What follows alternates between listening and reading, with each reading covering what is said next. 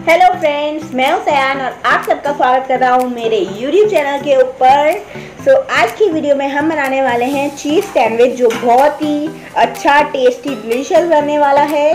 तो सबसे पहले तो हमें ब्रेड लेनी है और इसके ऊपर सॉस अप्लाई करना है। हमने यहाँ पे सॉस इससे अप्लाई करा है क्योंकि मेरे पास पिज़्ज़ा सॉस नहीं पड़ा था। आप पिज़्ज़ा पास्ता सॉस भी डाल सकते हैं कोई भी सॉस डाल सकते हैं। तो इसके ऊपर सॉस अप्लाई कर लेते हैं। दोनों ब्रेड के ऊपर मैं दो सैंडविच एक साथ बनाऊँगा।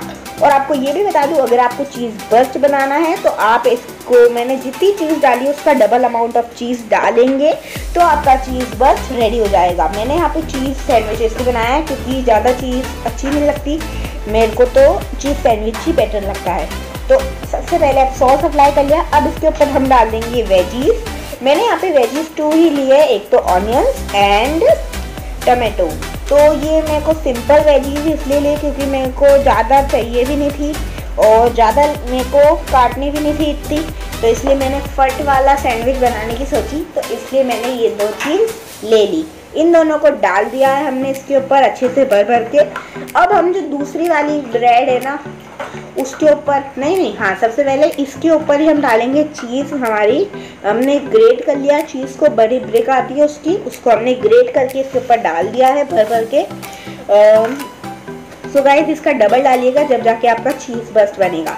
और अब हमें लेना है म्योनीस सॉस म्योनीस आप कुछ भी बोल सकते हैं। इसको लेके हम जो दूसरी वाली ब्रेड है, जो ऊपर साइड आएगी, उसके ऊपर हमें अप्लाई करना है हमारे मेयोनीस को। तो दोनों ब्रेड के ऊपर हम अप्लाई कर लेते हैं जल्दी से, और फिर बताता हूँ आपको क्या करना है।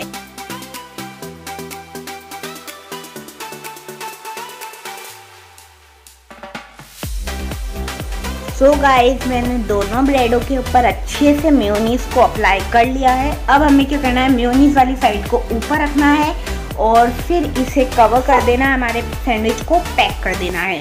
अब हमें ये सैंडविच ऑलमोस्ट रेडी नहीं हुआ है अभी।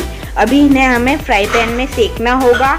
तो आप डायरेक्ट इसे टोस्टर में डाल के बटर लगा के भी फेंक सकते हैं। दोनों साइड से बढ़िया फेंक जाएगा एक साथ, लेकिन अगर वो नहीं है तो आप फ्राई पैन का यूज़ कर सकते हैं। वो कैसे? अब वो मैं आपको बताने जा रहा हूँ। तो आपको लो टू मीडियम पे फ्लेम रखनी है और फ्राई पैन को ढक, रख देना है। अब यहाँ पे सेंटर के अंदर आपको डालना है इसके ऊपर, अंदर बटर तो बटर थोड़ा सा लो, ज़्यादा लो, आपके ऊपर रहता है वो।